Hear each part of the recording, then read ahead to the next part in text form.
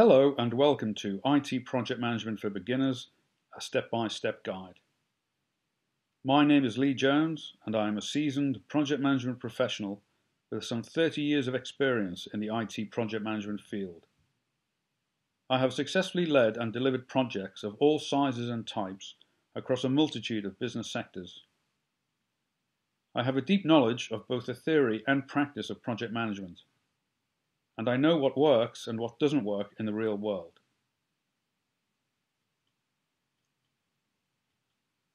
This course will explain the essential steps for successfully managing a project from initiating through to project closure.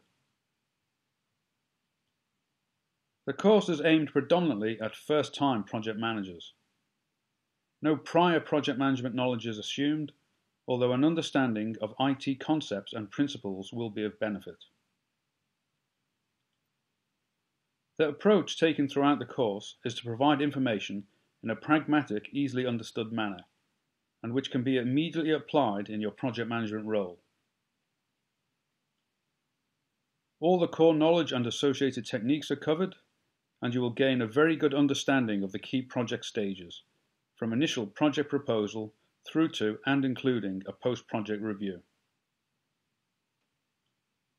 There are quizzes throughout the course to test your knowledge, and I have also provided supporting material in the way of associated templates and process models that you can download and utilize in your place of work. Finally, the aim is to get you up and running quickly, and you will find that this course will serve both as an excellent introduction covering all the essential project management areas and also as a refresher that you can dip into as required. So, enjoy the course and I wish you every success in your project management career.